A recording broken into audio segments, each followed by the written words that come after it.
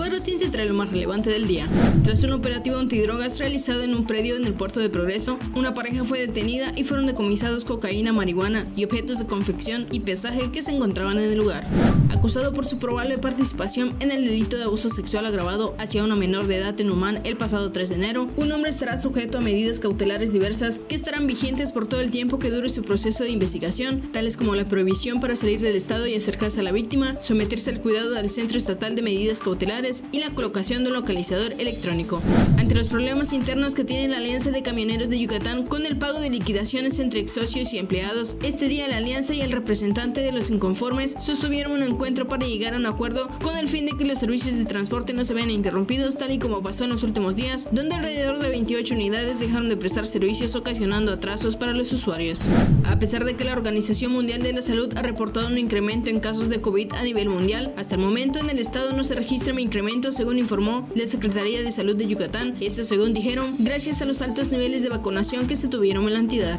Este sábado iniciarán operaciones 12 nuevas unidades del sistema Vaivén para la ruta Copó-La Isla, las cuales prestarán servicio gratuito hasta el 21 de enero, esto con el fin de que las y los usuarios de esta ruta adquieran su tarjeta para poder pagar, pues el cobro será 100% electrónico a partir del 22 de enero.